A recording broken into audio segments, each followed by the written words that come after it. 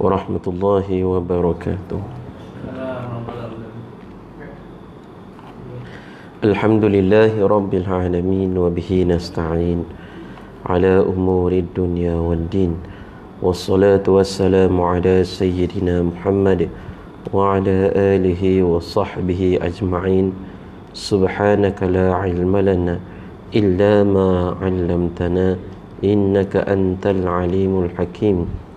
اللهم رب اشرح لي صدري ويسر لي أمري واحلل عقدة من لساني يفقه قولي اللهم افتح لنا فتوح العارفين وفقهنا في الدين وعلمنا تأويل أما بعد Alhamdulillah pada malam ini kita menyambung kembali pengajian kita InsyaAllah kita mulakan dengan pengajian Al-Quranul Karim dalam suratul Balad kita sudah pun sampai ke ayat yang ke Oh it'amu fi yawmin dhi masghabah okey. Kita masuk ayat yang ke-15 hingga ke-20 tak banyak. Hmm. kita mula dengan ayat ke-14 au it'am Baik. Pada ayat yang ke-14 A'udzu billahi minasyaitonir rajim. Bismillahirrahmanirrahim. Ayat ke-14 berbunyi au it'amu fi yaumin dhi masghabah. Okay. Di situ uh, yang perlu dijaga adalah pada huruf ta iaitu au it ada qalqalah sughra ada detakan kecil ya au it a dan juga huruf ain ada alif kecil di situ dua harakat dan juga mim bertanda tanwin bertemu dengan fa hukumnya adalah ikhfa kita perlu sembunyi dan dengungkan. Jadi bunyinya amu mu dia tak boleh sebut jelas mun ha, ya tak boleh. Mu fi mu fi kemudian disambung lagi dengan tanwin bertemu dengan zal juga ikhfa. Bunyinya min zi min. Kemudian dijaga juga huruf yang selalu saya tekankan adalah huruf zal iaitu ujung lidah zi. Uh, zi uh, zi kemudian tidak ada apa dah selepas itu kecuali huruf sin dia ada asfir dia asfir dia mas. Uh, bunyinya mas. Ya berbunyi sin. Masghabah ha. jadi bacaannya berbunyi au it'amu fi yawmin dhi masghabah okey sama-sama satu dua tiga au it'amu fi yawmin dhi masghabah Okey. Cantik. Ayat yang ke-15 pendek yatiman dza maqrabah yang nak dijaga di sini adalah tanwin. Sekali lagi bertemu dengan huruf zal jadi hukumnya ikhfa. Dengungkan. Man man ah geli sikit ujung lidahnya. Man dha dha ujung lidah ya. Dha maq maq qal qala sughra qaf maqrabah. Ha, jadi bunyinya yantiman dha maqrabah. Sama-sama kita satu dua tiga. Yantiman dha maqrabah. Yang ke-16 au miskinan dhamat rabah yang ini hampir sama dengan tadi iaitu tanwin bertemu dengan dal sekali lagi hukumnya adalah ikhfa. Kita dengungkan. Nadza ha dza dza ujung lidah ya. Sekali lagi ujung lidah dza mat rambah. Ha, mat rambah. Ha, jadi sama-sama. Satu dua tiga au miskinan dza mat rambah baik ayat ke-17 panjang jadi saya baca dulu ثم كان من الذين آمنوا وتواصوا بالصبر وتواصوا بالمرحمة jadi panjang kita akan pendek sikit watawasaw bis sabr okey di sini yang nak dijaga pertamanya huruf sa sa ha, kan ujung lidah sa ha, sa kemudian dia ada nun ada nun pula ada mim mim syaddah dia panggil. Sum berdengung. Sum ha. Dua harakat. Ya yang ini hukum paling basic antara yang basic lah. Dengung ni. Sum ha gitu. Kemudian kana minal ladzi minal ladzi hujung lidah huruf zal na amanu amanu wa tawasaw jaga huruf sad wa tawasaw bis bis sabri wa tawasaw bil marhamah. Mar kena tebal. Ya sebab ra tu sebelumnya baris di atas. Kalau baris bawah nipis. Mir tak boleh mir tak boleh. Kalau bawah nipis. Mir. Kalau atas mar ha, ya mar ha. yang lain ha, tak ada sangat. Dengung pada mim saja. Kemudian yang lain tak ada. Jaga huruf tha jaga huruf zal ya yang di mana kedua-dua huruf ini bermula daripada hujung lidah ha ya ramai orang baca summa dia tak betul. Sebab itu baca kena betul dulu baru dihafal. Ya baca betul baru dihafal. Kalau baca tak betul hafal kemudian nak baiki balik jadi susah. Hmm ya. Okey. Uh, kita berhenti. Wa tawassaw bis sabr. Sabr. Sab ra ba ra ni walaupun kita waqafkan ra ni dia ada bunyinya juga. Ada diseret juga. Jangan kita wa tawassaw bis sab tutup mulut tak mau. Dia mesti di diseret ra ni. Sabr. Ha sabr. Ha kata orang tu macam kita bawa kereta laju-laju kita break atas pasir. Ser ha, begitu bunyi kan. Ha, biasa buat? Tak biasa ha, jangan buat lah ha. bukan suruh buat jangan buat lah ya. ok sama-sama standby yang ni kena tarik nafas sikit ok satu dua tiga ثم كان من الذين آمنوا وتواصوا بالصبر ha sabr situ Ha. ada tangki lagi ya ha. kemudian kita ambil watawasaw bil marhamah. Satu dua tiga. Watawasaw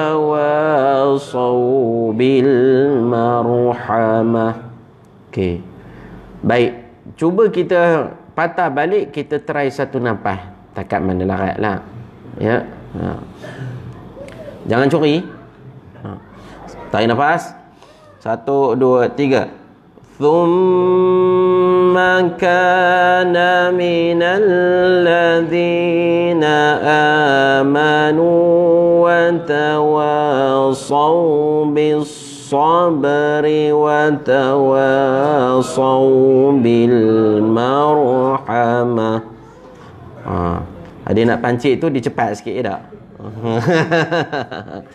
ha, ya. Dia kalau kalau dia makan dulu ha, dia payah. Ha, kalau dia perut kosong ha, insya-Allah boleh. Kemudian ayat ke-18 bunyi ulaika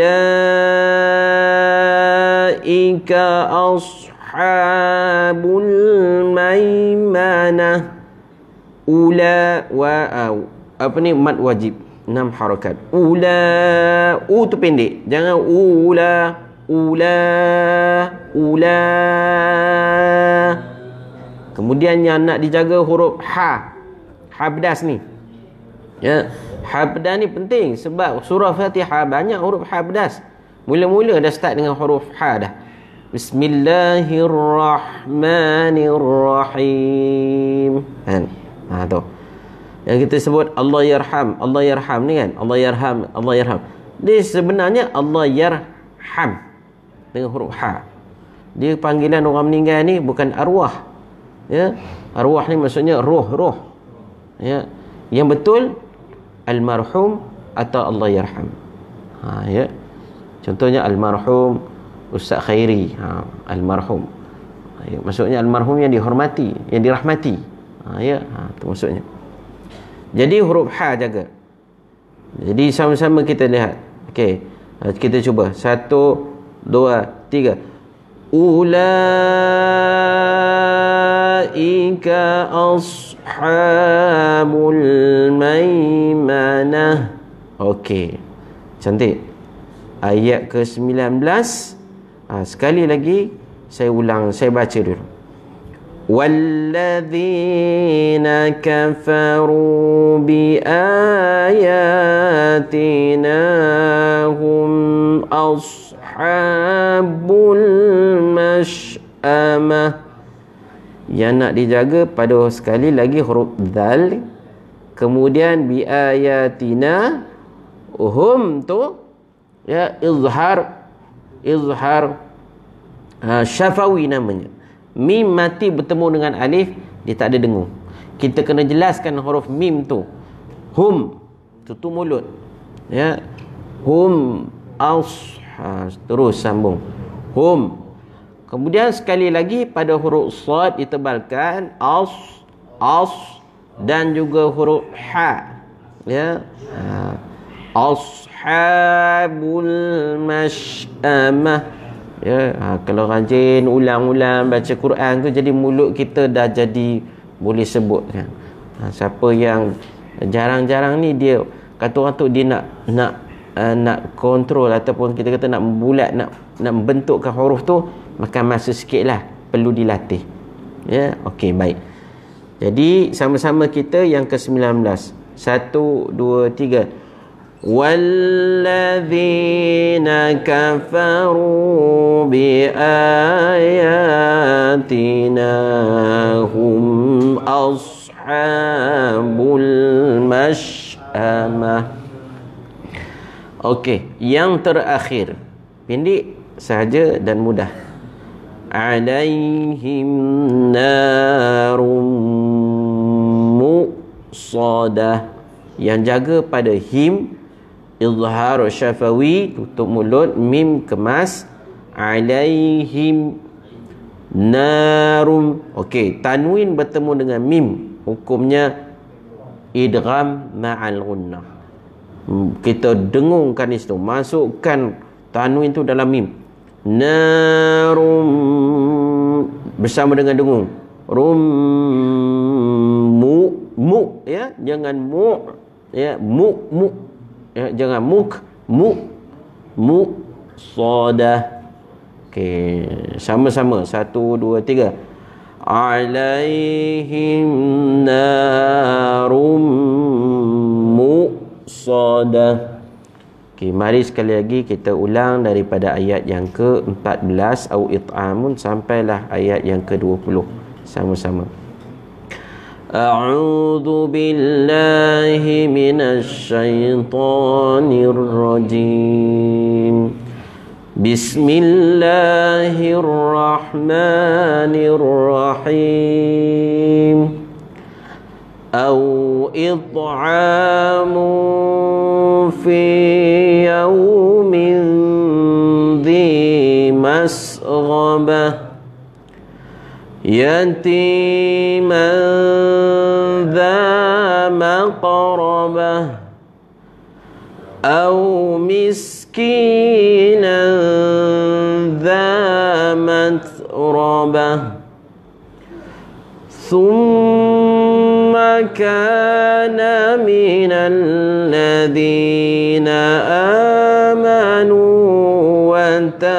وتواصوا بالصبر الصبر وتواصوا بالمرحمة.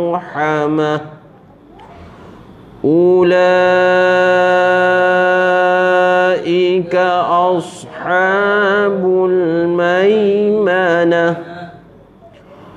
والذين كفروا بآياتنا هم أصحاب المشأمة عليهم نار مؤصدة. صدق الله العظيم. Alhamdulillah. Ya ha, dapatlah sikit-sikit. Bukannya saya pandai tapi takat yang saya tahulah kita sama-sama. Nanti kalau ada guru pandai lagi kita belajar lagi dengan dia. Ya okey baik. Tuan-tuan kasih oleh Allah kita sambung pengajian tasawuf kita dalam bab taubat.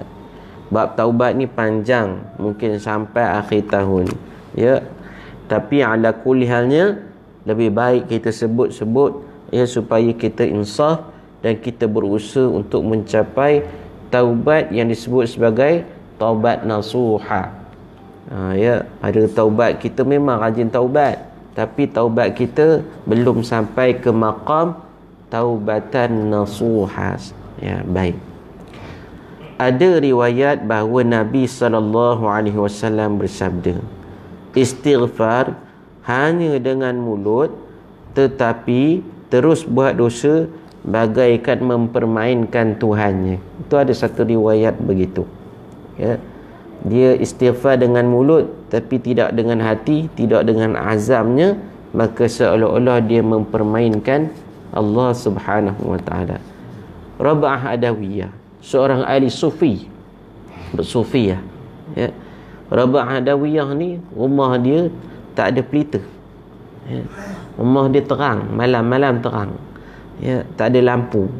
Sebab apa cahaya tu datang daripada daripada uh, karamah dia? Ha, dia ada karamah dia. Ya.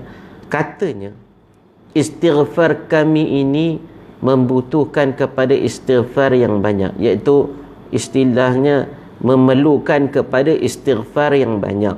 Antara orang baik ini orang sufi ini dia kata dia perlukan istighfar yang banyak. Yakni jika istighfar dengan lidah sedang hatinya sedang hatinya niat akan mengulangi perbuatan dosanya maka taubat itu adalah taubat orang yang dusta. Ha. kalau dia istighfar tapi dalam hatinya ada perasaan nak ulang lagi maka dia tu dusta. Tu kata Rabah Hadawiyah ya. dan ini tidak bermak tidak bermakna taubat. Yang ini bukan masuk taubat ya. tak tercapai makam taubat ataupun kita sebut hakikat taubat itu tidak ada pada istighfar itu. Ya. Sebab syarat taubat dia ada tiga. Yang pertama dia mesti menyesal dalam hati. Lalu bila hati dah betul menyesal maka lidah akan beristighfar dan hati akan berazam untuk tidak mengulangi lagi perbuatan dosa itu. Jika demikian pasti Allah akan mengampunkan baginya. Walaupun dosanya sebesar langit ni pun. Pasti Allah Taala ampunkan. Iya ke? Ya? Ya. Ya, kita dah baca kisah bagaimana orang bunuh 99 lepas tu bunuh pula seorang lagi 100 orang bunuhnya. Allah Taala ampunkan. Ya. Tapi tengok macam mana niatnya, keazaman dia. Ya, betul-betul daripada jiwa. Sebab itulah Allah Taala suka memaafkan hamba dia. Allah Taala akan ampunkan hamba dia. Jadi macam mana nak dapat benda yang payah macam ni macam mana nak dapat kalau kita usaha sendiri tak dapat rasanya benda yang besar macam ni yang tak nampak macam ni macam mana kita nak perolehi dia kita kena tahu bahawa taubat ni ada pemilik dia iaitu Allah. Maka kita kena minta dengan Allah Ta'ala. Baik itu dalam doa kita salah satunya kita baca wa taubatan qabla an-maut ni selalu kita minta. Ya. Ha. Wa rahmatan 'inda al-maut dan rahmat ketika mati wa maghfiratan ba'da al-maut dan keampunan selepas daripada mati. Ini tiga perkara yang sangat-sangat kita perlukan di akhir hayat kita ni. Sebelum kita ditarik nyawa kita maka kita bertaubat kepada Allah. Ya. sebab itu kadang-kadang ya, orang yang dah tahu tarikh kematian dia lebih diampunkan lebih mudah diampunkan oleh Allah sebagai contohnya orang yang mati tali di tali gantung kan? Kita pun dah cerita kan? Ha, kan? Orang mati di tali gantung. Biasa digantung kita dah cerita ke? Belum ke? Sini. Ya tak ada lagi ya. Ke lupa belaka ni. Ya, saya pun lupa tuan-tuan pelupa ulang baliklah macam cerita Piramli je tak? Orang mati di tali gantung ni tuan-tuan. Dia digantung pada hari apa hari Jumaat. Hmm. pagi-pagi lepas solat subuh tu. Jadi tuan-tuan bayangkanlah macam mana semayang subuhnya tu. Sembahyang yang terakhir bagi dia. Sebelum habis tu habis sembahyang subuh tu sudah pasti dia minta ampun bersungguh-sungguh pada Allah Ta'ala. Sebelum dibawa lagi ya dah orang akan bagi dia sembahyang dua rakaat yang terakhir sunat solat sunat taubat sembahyang taubat maka sudah pasti di situ ya sujud yang terakhir tu adalah sujud yang paling berharga pada dia dia mohon ampun di hadapan Allah Subhanahu Wa Taala. Ya, minta betul-betul. Ya. Itu kata orang tu kalau dia dikurniakan dengan dunia pun dia tak mahu dah. Ya, betul-betul. Dia minta ampun dia nak sungguh-sungguh. Kemudian dibawa ke tempat gantung. Sebelum digantung itu disuruh bersyahadah dahulu ya. La ilaha illallah sekurang-kurangnya ataupun asyhadu an la ilaha illallah wa asyhadu anna muhammadar rasulullah. Ya. Bersyahadah dulu. Habis syahadah tarik. Mak. Ya, jatuh. Ya. Patah tengkuk mati. Ya. Ha, tak apa dia tahu.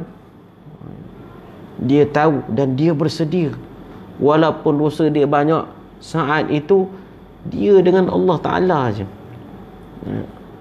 tak ada apa dah masuk dalam kepala dia dia hanya tahu dia dengan Allah Ta'ala takutnya dia pada Allah Ta'ala tapi kalau orang-orang yang tidak bersedia ni tak tahu. Ya meronta meronta. Ya tuan-tuan kasih oleh Allah Ta'ala. Ya. jadi itulah dia. Maka kita mohon pada Allah Ta'ala mudah-mudahan sebelum kita kembali ke rahmatullah ini ya ke rafiqul a'la maka kita pohon Allah Taala kurniakan. Kena minta betul-betul ya semaya hajat untuk kita sama-sama dikurniakan dengan taubat nasuha dalam sujud kita ya minta supaya Allah Taala kurniakan. Sebabnya apa? Kalau kita usaha sendiri macam tak dapat. Susah nak dapat benda yang besar ini. Taubatan suhai ni usaha-usaha tapi uh, dugaannya terlalu besar pada hari ini. Dunia ni terlalu terlalu besar dugaannya ya terjadi pada raja Bani Israel. Diberitahu bahawa ada seorang ahli ibadah yang sangat taat. Ni panggil sebagai abid. Istilah ni dah tak ada dah hari ni. Dipanggil abid orang yang rajin ibadah. Ya. kita hari ni payah nak cari abid ini. Orang yang nunggu waktu semayang. Habis semayang dia tunggu lagi. Ya. Payah nak cari. Ya. maka raja itu tertarik kenapa kerana ketaatan dia kepada Allah. Sehingga ia memanggil orang ibadah itu dan minta supaya suka menjadi sahabat raja dan sering datang ke istana. Ha, kalau kita macam mana? Ya raja suruh datang di sana oh orang ni orang baik ni. Ha, selalulah datang ke istana. Hmm apa lagi ya tak? Pergi selalulah. Paling kurang dapat makan jadilah ha, ya dapat masuk dapat tengok cuci mata tengok barang-barang dia pun jadilah. Ya. Ataupun tengok kereta dia macam istana istana Nurul Iman kan? Ha. Sultanah Bolkiah ni mempunyai koleksi kereta yang mahal-mahal yang banyak. Ya baik.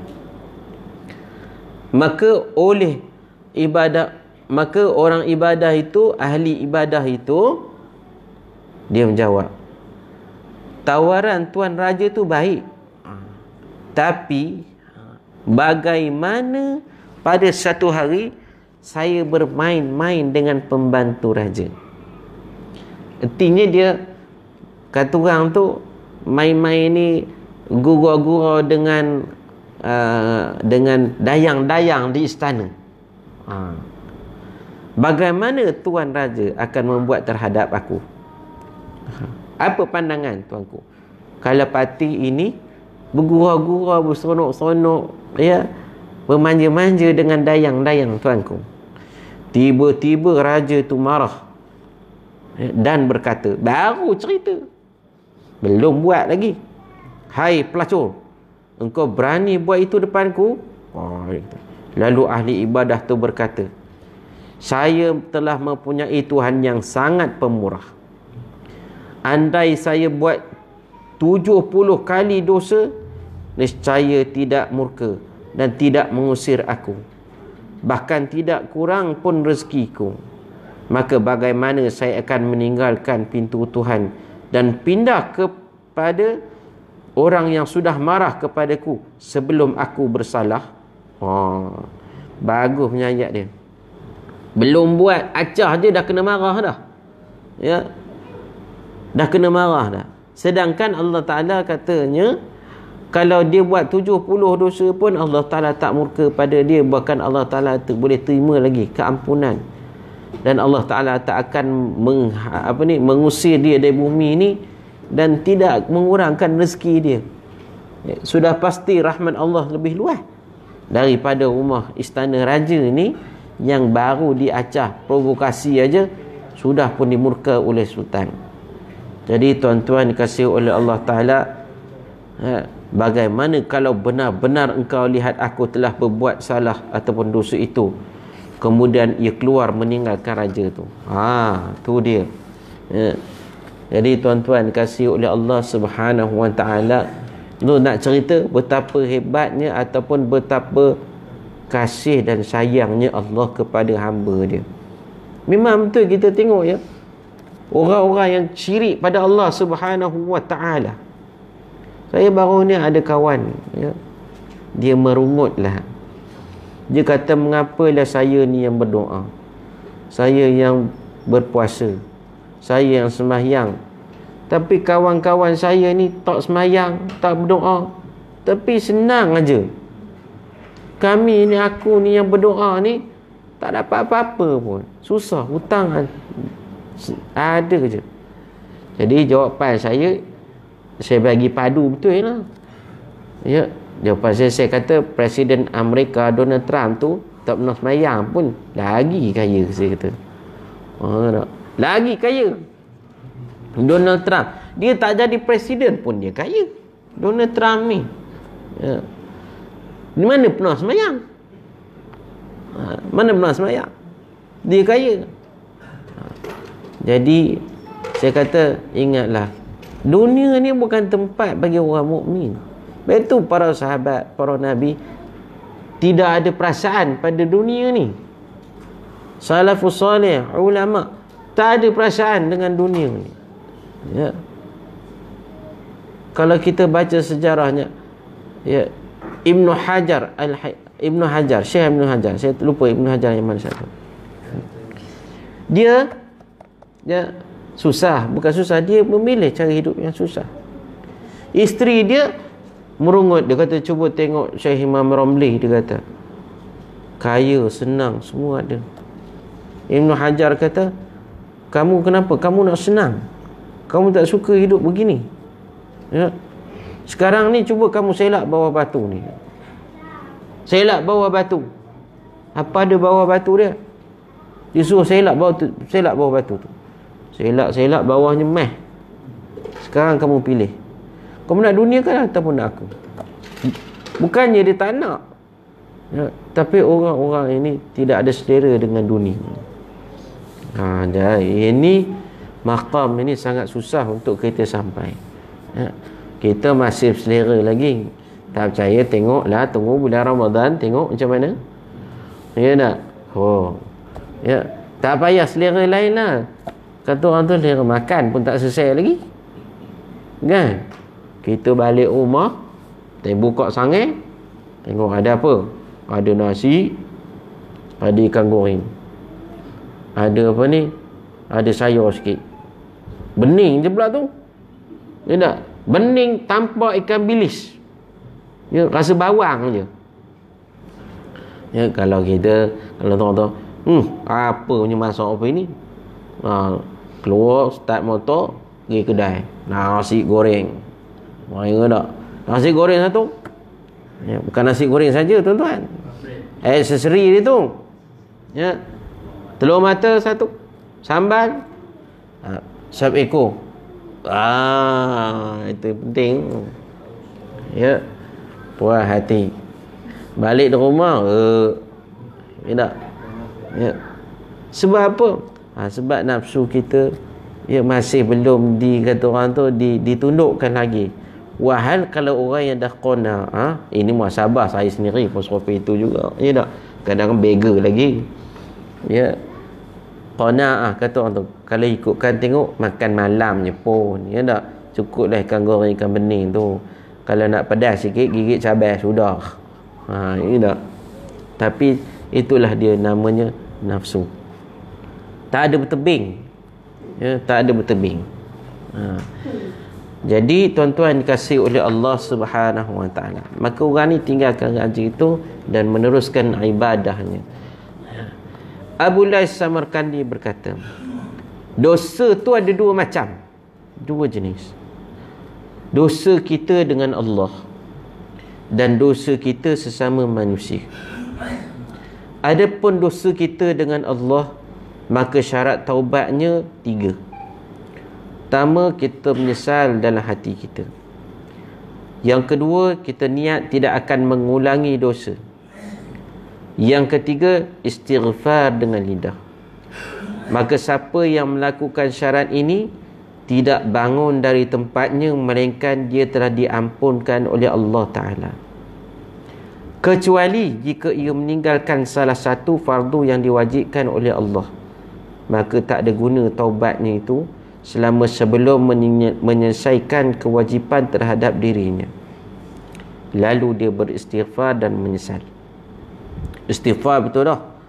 Ya tak? Menangis-nangis. Ya, kita cerita menangis-nangis. Ya. Dosa besar ni lah dosa ibu bapa lah apa semua ya tak ya. Lepas tu dah balik menangis tu semayang tak juga. Apa makna ya Ha, ini kadang-kadang tempat orang motivasi kan. Bagus juga pergi muhasabah. Ya. Tapi sebenarnya antara perkara yang boleh menginsafkan kita adalah pergi ziarah kubur, ziarah orang sakit, pergi ziarah orang miskin, ya. Ini antara perkara mengusap kepala anak anak-anak yatim. Ini amalan-amalan yang boleh melembutkan hati kita. Tapi amalan ini kita buat. Ya, kita biasa pergi mana kan? Pergi mana? Pergi Sogo pergi IKEA pergi Maiden sini apa? Stormfight ya tak? Ya, kemudian tengok Shopee. Jadi bila jiwa kita ni nak jadi lembut? Ya bila? Sebab kita jarang tengok orang miskin kelalang, kelalang kita ni. Payah juga nak jumpa orang miskin kalau ada pun kita pun tak nak pergi. Ya. Tapi kalau kita pergi sebahagian tempat ha, kita insaf dan saya duduk Mesir itulah baru ni pergi. Ya. Orang Mesir ni ada yang sangat su- susah. Ya. Orangnya menjaga tangga menjaga apa ni menjaga bangunan tu tuan-tuan dia panggil imarah imarah ni apa? Apartment apartment. Mana rumahnya? Rumahnya di bawah tangga bawah tangga tu rumahnya ya ha, macam kita tu kan ha, bawah tangga tu ada orang duduk situ ada dapur ya dapur satu tungku tu dapur yang kecil tu kan ya. ha. kemudian ada adalah tempat je nak baring sikit situ itulah tempatnya ya Isteri tidur bawah tu. Saya jumpa dia tu tidur mana? Tidur di luar. Ya. Berbantalkan ni kan koridor simen naik sikit tu kan. Ha itu bantal. Ya. Mana ada orang tempat kita tidur macam itu? Ha ya. Jadi muhasabah ya sebab itu ya bagus pergi jalan-jalan tengok orang-orang yang lebih susah daripada kita. Dia menembutkan hati ha. maka ada pun dosa yang terjadi antara kamu dengan manusia selama mana dia belum menghalalkan maka tidak ada guna taubat kamu itu contohnya tak ya, curi durian durian bukan sebarang durian durian musangking pula tu kalau takat durian kampung tu boleh beralai lagi ini musangking musangking ni udahlah kita baru tanam Pokok pertama. Buah ni first time, first musim. Kita dengar bunyi dia jatuh. Boom. Ya tak? Lepas tu cari-cari buah tak ada. Cari-cari tak ada. Boom. Jatuh lagi. Cari-cari tak ada juga. Ya. Kita pun pasrah. Ini mungkin jin kot. Ha, kan? Padahal ada makhluk yang perangainya setan. Orang tapi perangainya setan. Ya, dia menghambat kita punya durian sebab tu bila saya ada orang nak jual sawit kan dia kata oh bagus tempat ni oh murah ni. Tapi tempat ni panas katanya. Saya kata apa hal tempatnya panas? Memanglah panas. Ya tak? Kalau tengah hari panas lah oh rupanya panas ni tempat orang yang tanah orang lain tanah sawit orang lain dapat hasil. Ha, tu masuk panas. Ya. Yang macam ini orang macam ini ya tak akan selesai taubatnya mainkan dia berhala dengan dengan di, orang tu. Kalau orang tu dah tak ada cari warisnya. Eh, bab itu jangan main-main dalam bab makan hak orang ni. Ya tak boleh. Ya ha. Contohnya kenuri lah. Ya tak? Kenuri. Kita ni first time pergi kampung tu. Sampai-sampai turun. Salam-salam ya tak Kita pun salam ha. Kadang-kadang tak salam dulu Pergi makan dulu Balik baru salam. Pergi-pergi makan Tengok-tengok lauk je Romben nalar ke. Ada pecalnya Ya tak? Ada kambing bakarnya Ya tak? Ada hari asamnya. Ha? Sup Tulang lembu. Oh memang kita punya favourite lah tu. Ayam tak mandang. Kawan saya dia pernah kahwin dekat Kuala Lipis. Dia buat gulai patin tempoyak. Tak laku ayam daging. Selesai hak tu baru boleh ayam daging jalan. Ya tak? Kita pun makan. Ya tak? Bukan papan kayu petarah. Bukan makan tapi darah. Ya. Udah makan tambah-tambah. Ya tak? Lepas tu bila nak bersalam, dia nak tengok banting belakang tu, eh orang lain. Ha ya orang lain. Ha kita pun nak macam mana nak cakap. Ha ya. Kita pun salam. belah gitu ya tak bagi dua ringgit ha ya sebenarnya kita kena bagi tahu kat dia tuan kata saya minta maaf ya tak saya ni salah tempat saya dah makan tiga pinggan oh, berani cakap macam tu. Ya. Mesti dia tarik muka mak. Udahlah salah kenuri makan banyak pula je tak ya. Jadi kita kena bagi tahu lah. Kita dah silap kenuri tuan saya minta halal lah. Ya. Ha. kalau dia kata halal alhamdulillah.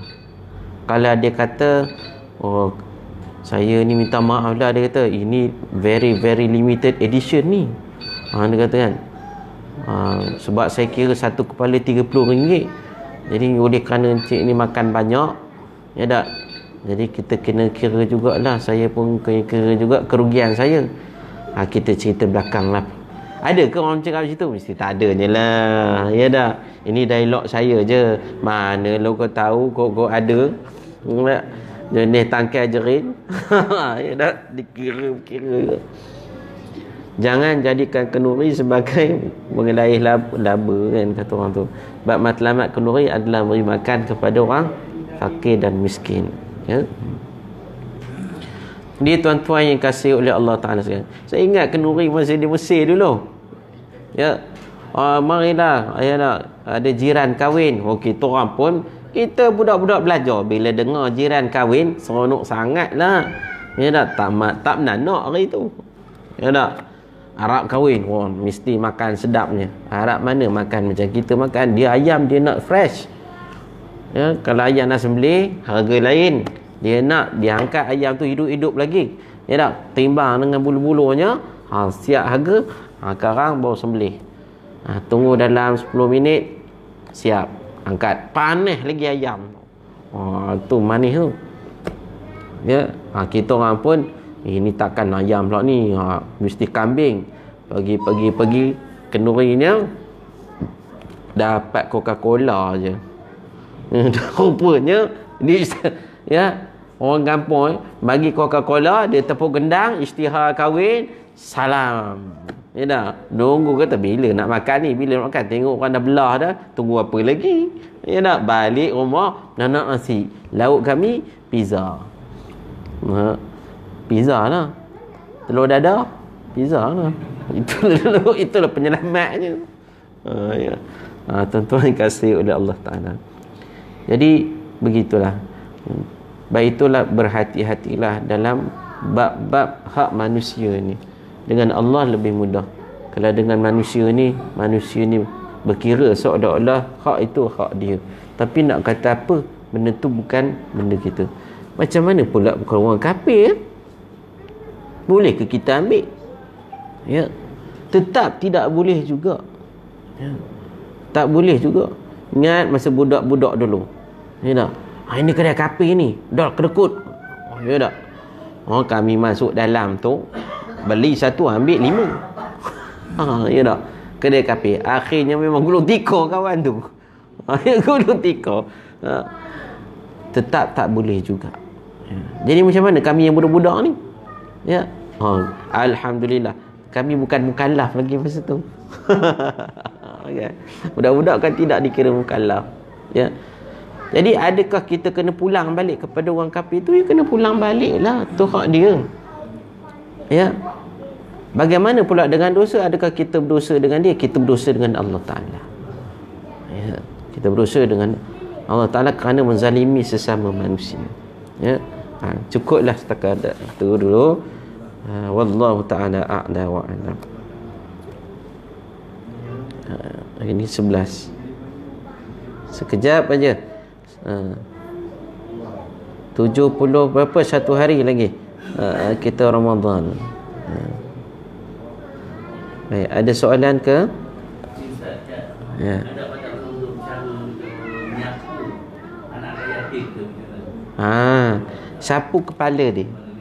Ha, anak yatim ni disegelakan istilah anak yatim ni orang yang belum akil balik. Ha, ya. Kalau dia tu dah akil balik tak perlu sapu lah, tak perlu sak kepala dia lah. Yang kecil-kecil kan. Ya. Budak-budak ya. hadiahkan dia sesuatu ya bagilah gula-gula ke apa ke ya tak tandingatan dia ya. walaupun dalam kitab dia kata walaupun dia anak yatim yang kaya ya tetapi hakikatnya dia tetap kekurangan sesuatu iaitu kasih sayang seorang bapa walaupun dia kaya. Ha, ya. ikhlas ya. Mesti ikhlas. Jangan ada makna pula. Sapu kepala anak mata tengok kat mak. Ya. Ha, itu lain maknanya tu. Ya. wallahu alam baik kalau tak ada insya-Allah tuan-tuan saya rayu lagi lah eh, kalau ada sumbangan untuk seriti untuk saya bayar api dan airnya. Ya kalau tak ada bulan ni uh, bulan apa ni akan datanglah. Uh, tak banyak uh, tuan-tuan bagilah RM3 RM5 ya sebab saya pun kutip juga tempat-tempat yang lain. Kata orang tu uh, sama-sama sikit-sikit alhamdulillah insya-Allah boleh bantu ya. Terima kasih kepada yang sudi menyumbangkan ya alhamdulillah. Aqul qali hadza wa astaghfirullah li wa lakum.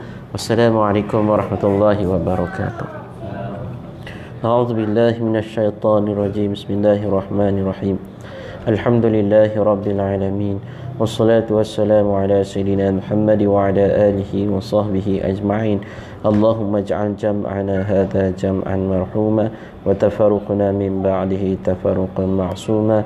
اللهم اجعلنا من الذين يستمعون القول فيتبعون أحسنه. ربنا عليك توكلنا وإليك أنبنا وإليك المصير. وصلى الله على سيدنا محمد وعلى آله وصحبه أجمعين. والحمد لله رب العالمين. السلام عليكم ورحمة الله وبركاته.